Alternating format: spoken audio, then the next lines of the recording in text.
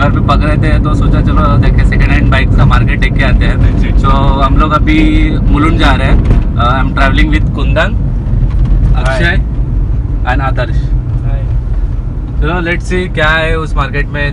वहाँ पे जाके ही पता चलेगा।